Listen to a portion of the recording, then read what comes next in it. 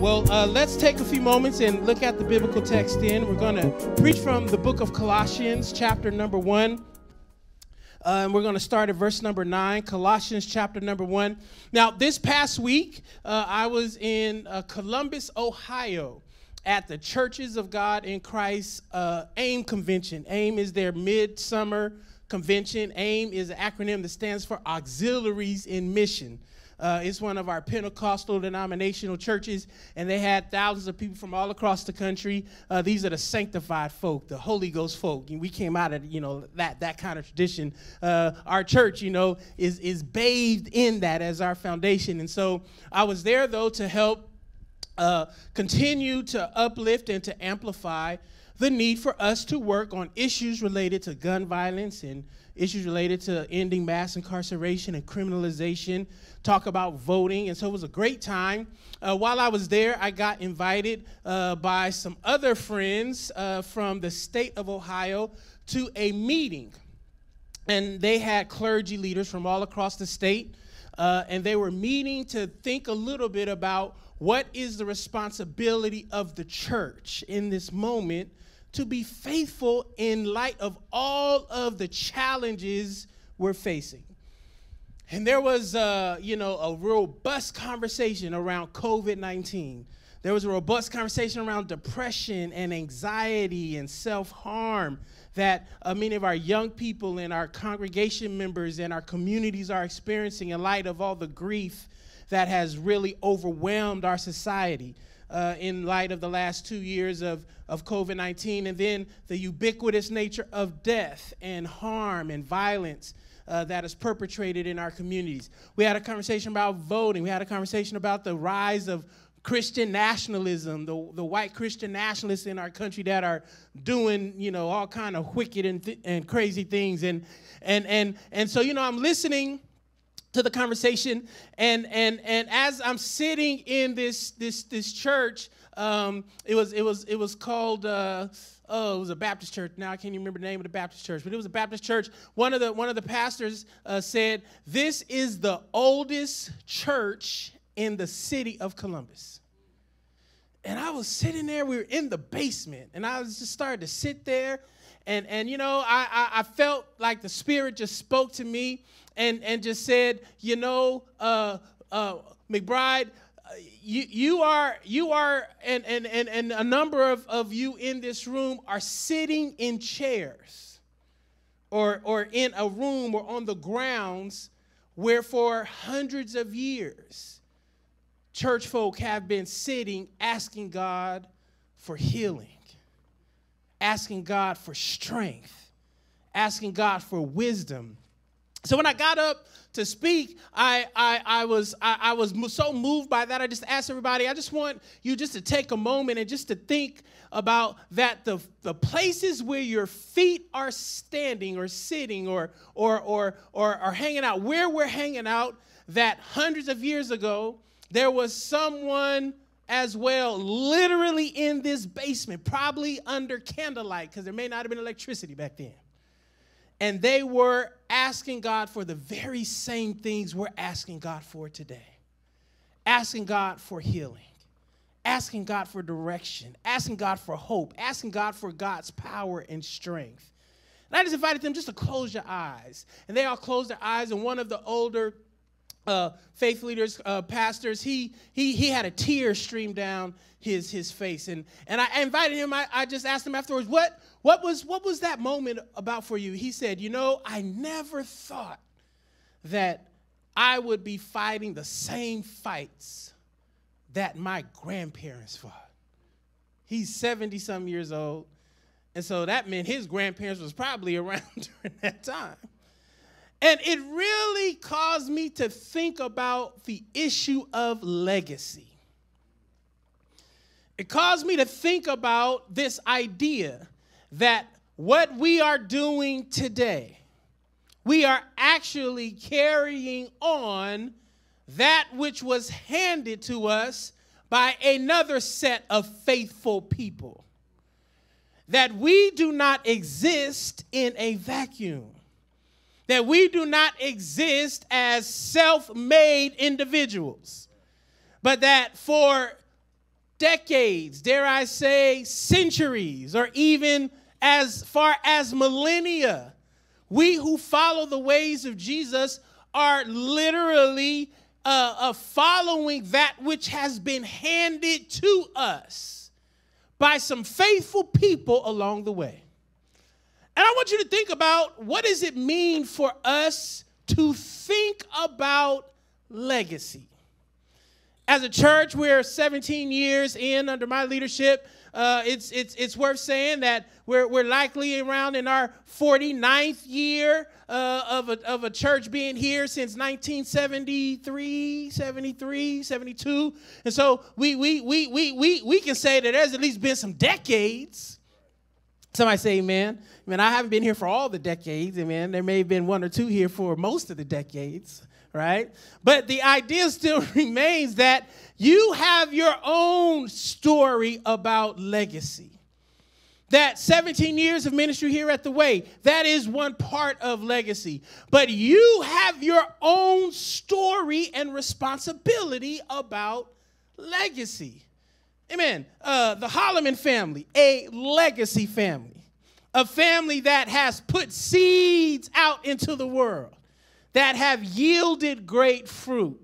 I see some teachers and educators in the room, legacy folks that you have impacted for one or two years of their life, and you don't know how that seed of kindness, of ministry, of love has literally caused them to be literally alive today.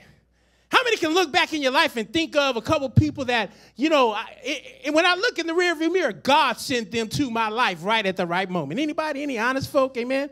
God sent, I mean, I was kind of shaky. Praise God. Even with good parents, even with an advanced degree from a great university, how many know God sometimes had to plant people strategically in our lives to make sure that we were always working, living, and realizing legacy.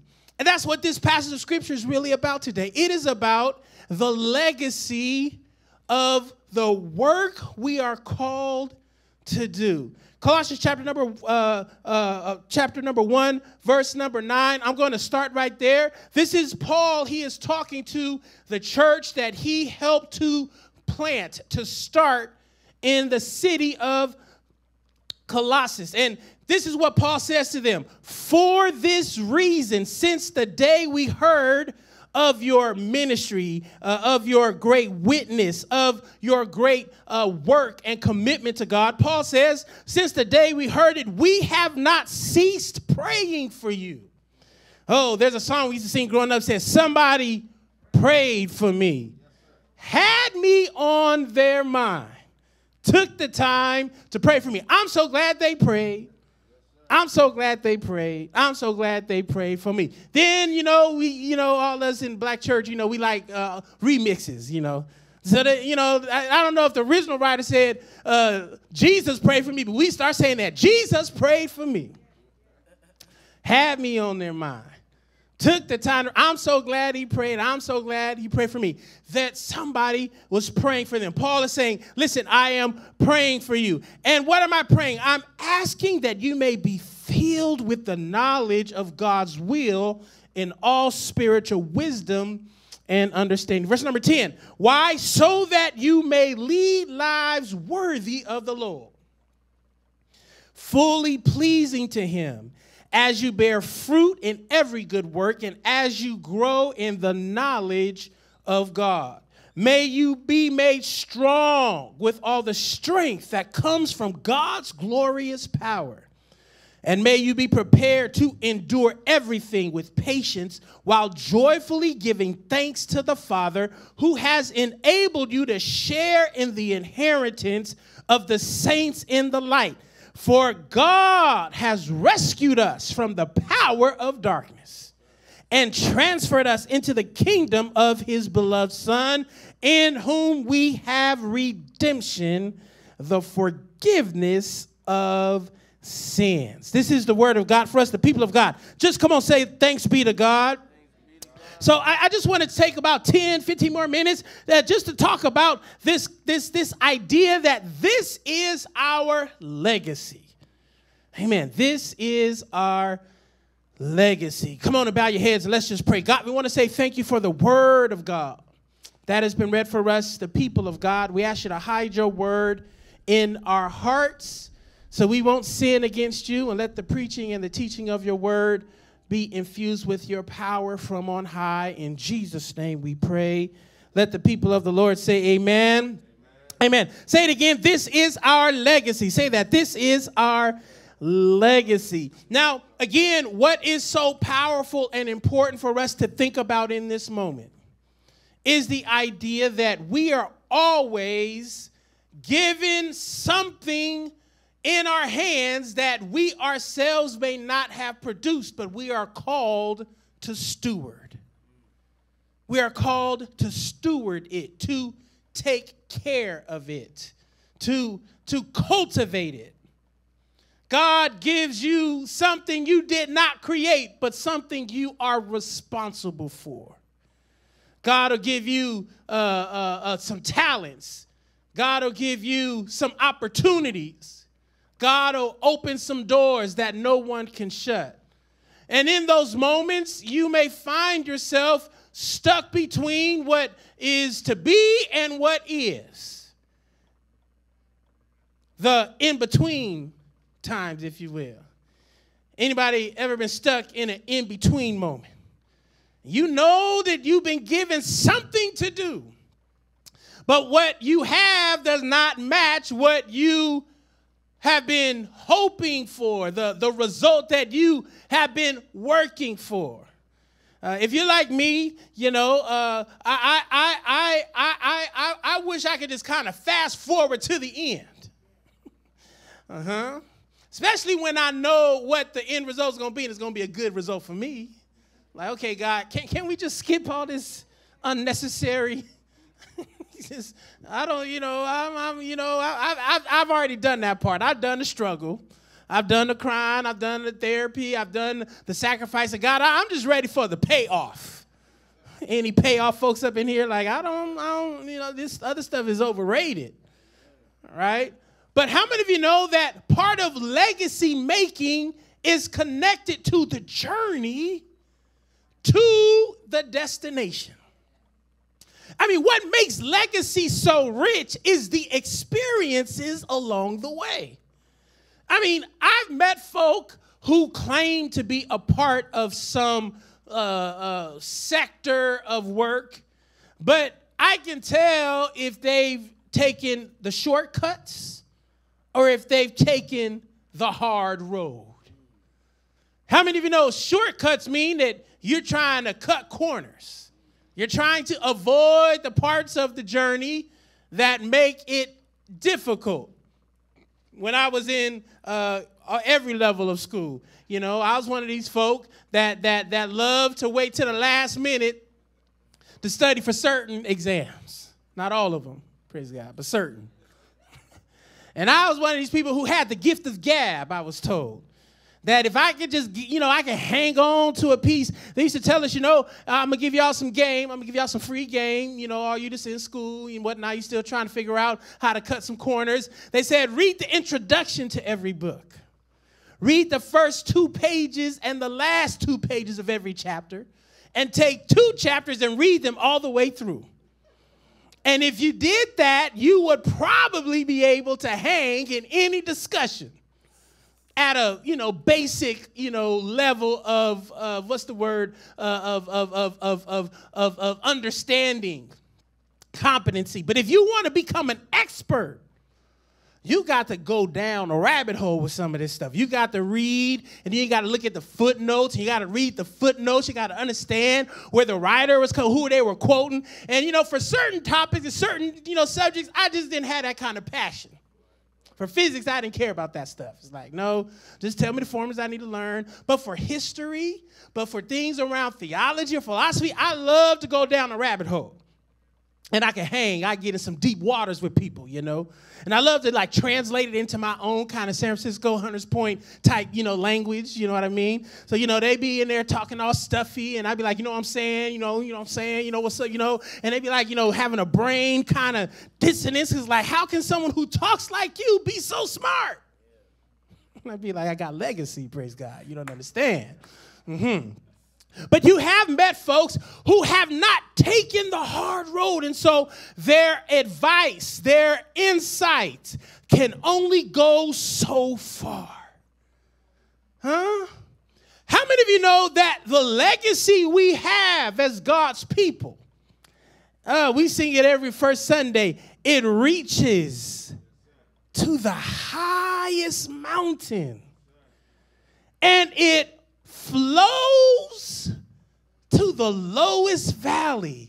That there is no height or depth. There is no no wideness that can extend past the legacy we have and why is that important? Because we are being called to carry that legacy in our families, in our vocations, in our ministries, in our lives. We are being called to lean into the depths, the heights, even the expansiveness of this legacy of God's work in us and in the world. And I want you to know, child of God, that this legacy is a blessed legacy. It's something that if you and I take seriously can literally transform the trajectory of your life of your family's life, of our community's life. And I'm not talking about a legacy that uh, seeks to inscribe and, and rebuild that which God, through the inbreaking of God's kingdom, is seeking to tear down. How many know that when Jesus came, Jesus wasn't coming because the world was okay? Man, if the world was okay, like Jesus, you know, uh, uh, uh was was was imagining in eternity, Jesus would have just stayed right on up there in eternity. When God created the world, God said it was good. Jesus came because it wasn't good no more. it was like something. What, what y'all take with my good stuff? Y'all done turned my good stuff into a mess. So Jesus comes. Why? Because it's no longer what he intended it to be. Aren't you glad that when your life ceases to be what God intended it to be, Jesus shows up? Woo!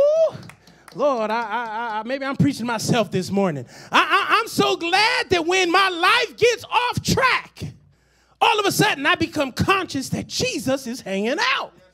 Amen. When my life starts to take a nasty turn, it's not as if Jesus wasn't there in the good times. It's just I wasn't always conscious of Jesus. Uh-huh. How, how, how many know when things are going good, amen, you they're faking Jesus. But when things are going pretty bad, you calling out for Jesus. uh-huh. A, a thank you, Jesus, and a help me, Jesus has a different kind of ring to it. And you must realize that Jesus' presence in our life through the power of the Spirit is inviting you and I to lean into legacy, a legacy worth holding on to. I would not throw away the legacy of faith just because times are difficult. But the first thing that the scriptures say is worth you and I uh, living into this legacy. Uh, verse number 10 says that you and I should lead lives, to live our lives worthy of the Lord. Somebody's holler, live my life worthy of the Lord. Say that, live my life worthy of the Lord. I want you to know that not all life living is equal. Uh, some of us can live life and it's not worth a lot. There's no judgment, but you you can if you just be honest with yourself, you say, you know, some of the things and seasons in my life, I can take everything I've done in a season and I can put it on the table and I can be like, what was I doing with my life?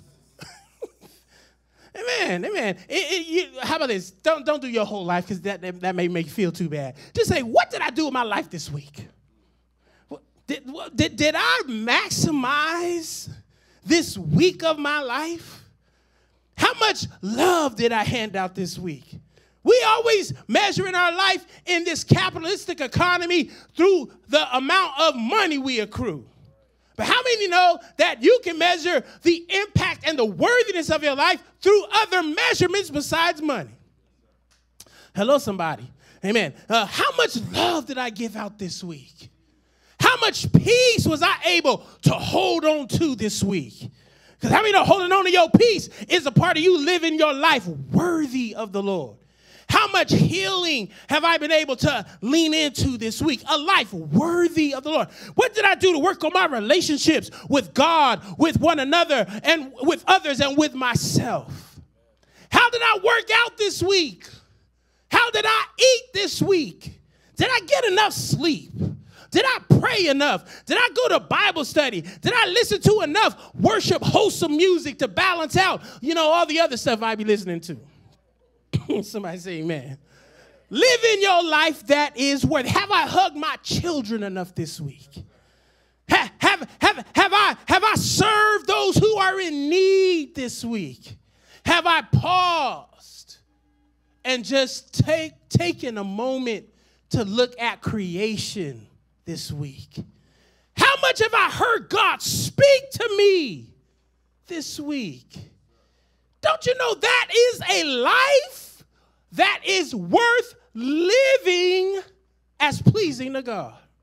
And sometimes we make a life worth, uh, a life that is worthy of the Lord, a, a whole list of things rather than you just being and living, not in the presence of God as a state of paralysis, but living and being in the world.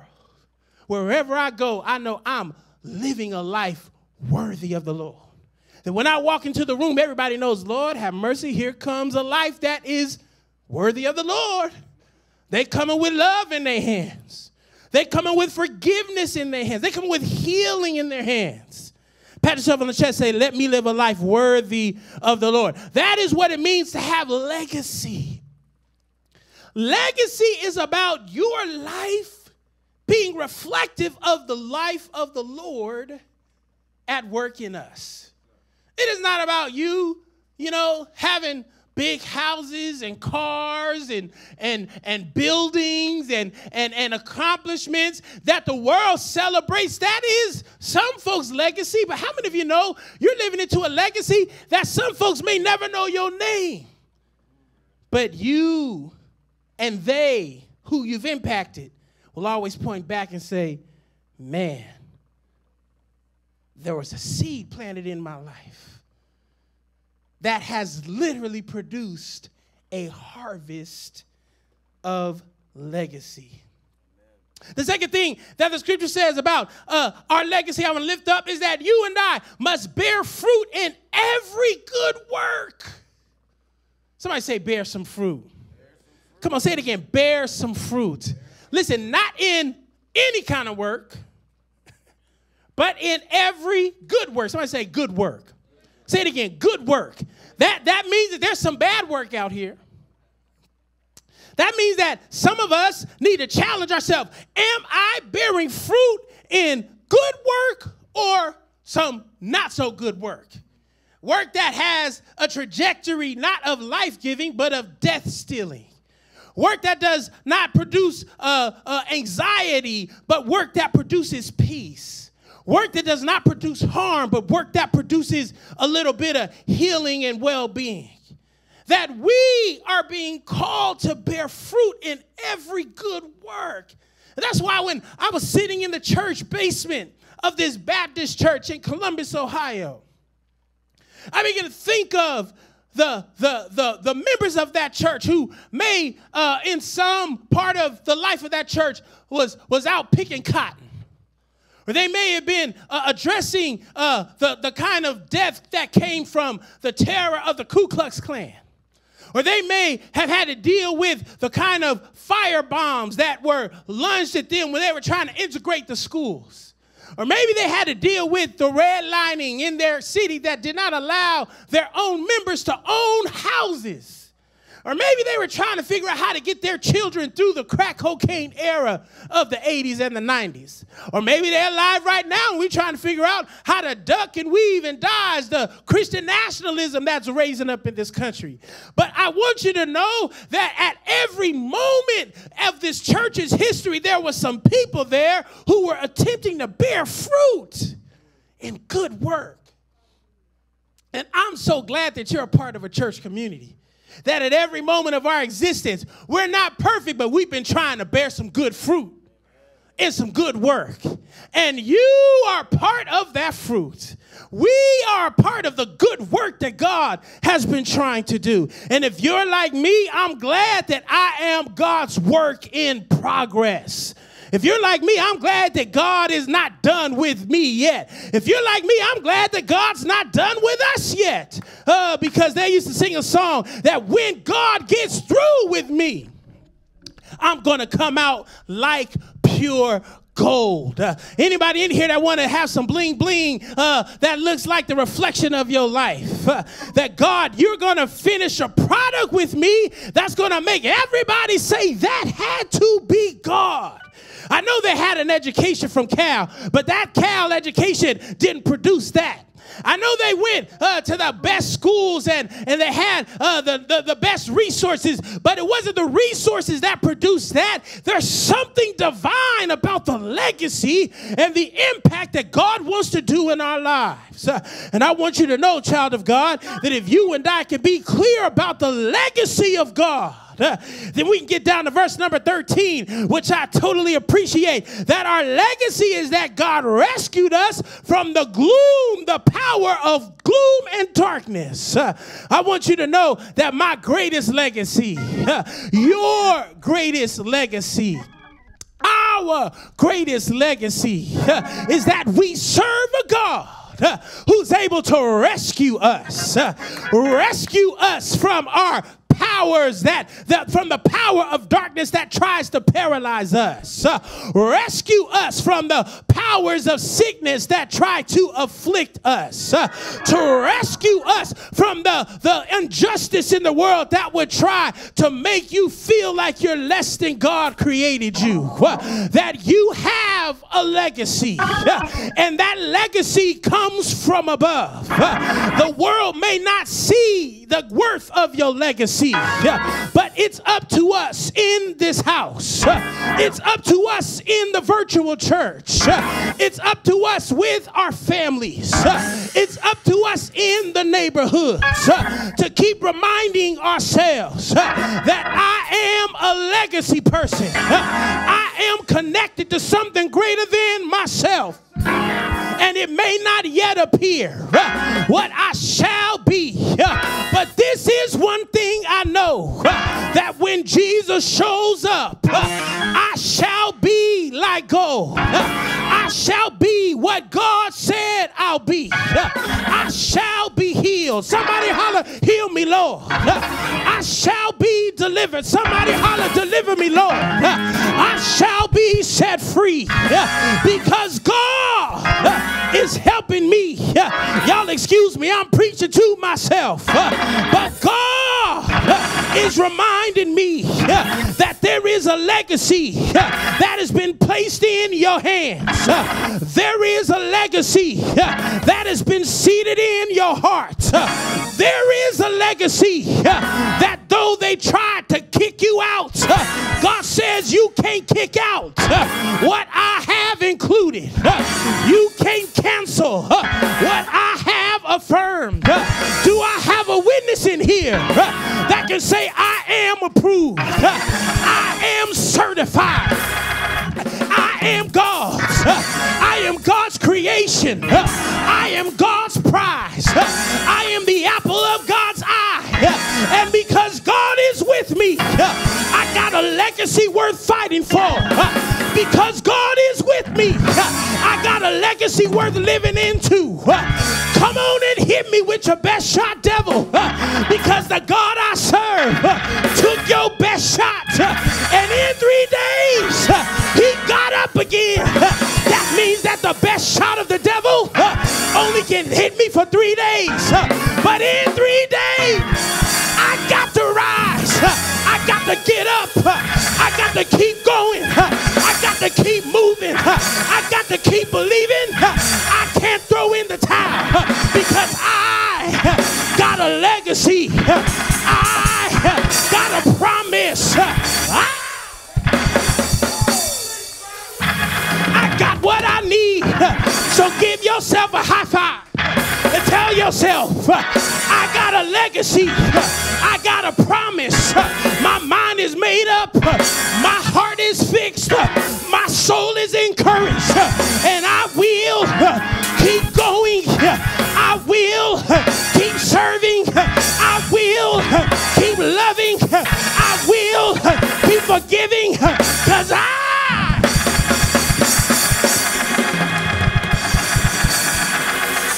Come on, stand with me. I got a legacy. We have a legacy. And I want you to know this is our legacy. Amen. This feels good to me, praise God. I mean, Pastor Nisha, I'm sorry you sick, but I'm glad I came. Because I needed to remind us that we have a legacy. You are not the creation of your own hands. We are the creation of God's hands. God gave us to our parents, to those who came before us, and we're living out God's legacy. This church is God's legacy. You, as God's people, are the legacy of God. It doesn't matter where you are in your life. I've had people, we've had people come through this church, atheists and agnostic. They are God's legacy. We've had folk come through here, didn't believe in nothing. They are God's legacy. We have folk come through here, they floated in here. They are God's legacy. Somebody say amen. All of us. The hardships is a part of the legacy. Why? Because God brought you through that. God brought you through the mourning. God brought you through the transitions. God brought you through the disappointments. That is a part of your legacy. So don't hide. Some of us like to hide part. No. Get over yourself. Tell your neighbor, get over yourself. Tell somebody else, get over yourself. You're not the only one that had to endure that.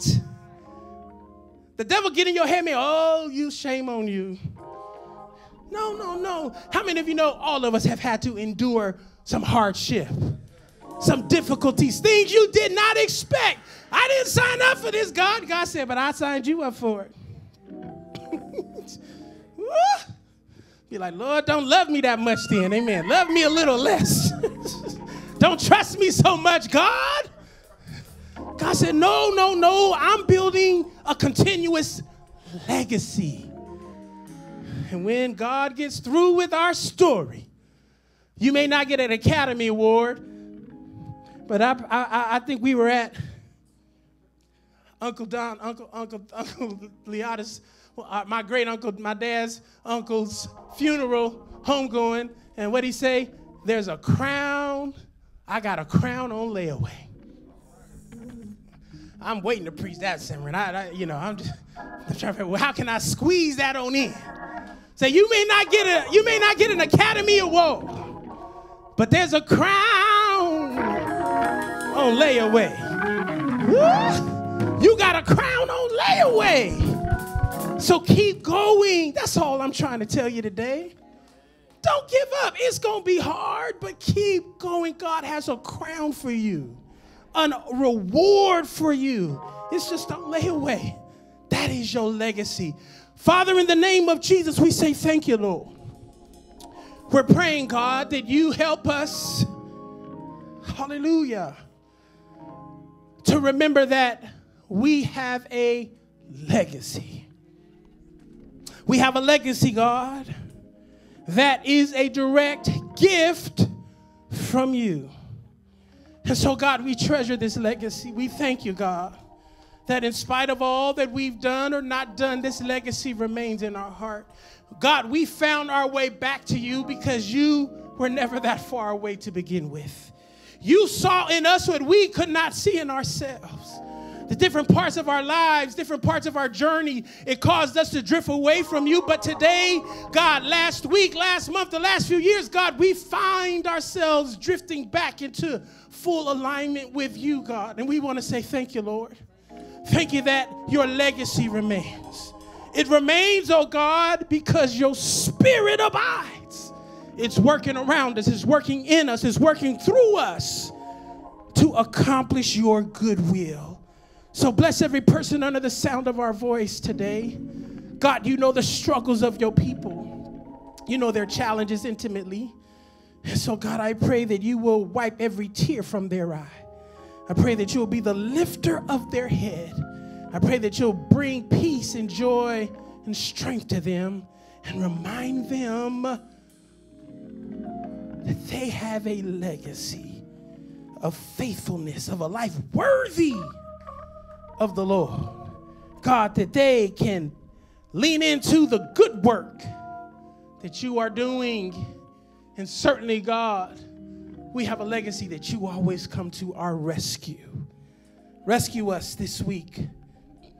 Rescue us in this season. Sustain us. And we'll say, Thank you, God. In Jesus' mighty name we pray. Just take a few moments, lift those hands, and just wave them before the Lord. Come on, to make the effort and just wave your hands before the Lord. This is our legacy of worship, God, our legacy of praise, our legacy of thanksgiving. We say thank you, Lord. Thank you that you did not leave us or forsake us. Thank you that you held on to us. Thank you, God. Be our strength, be our help. In Jesus' name we pray. Clap your hands and holler, This is my legacy.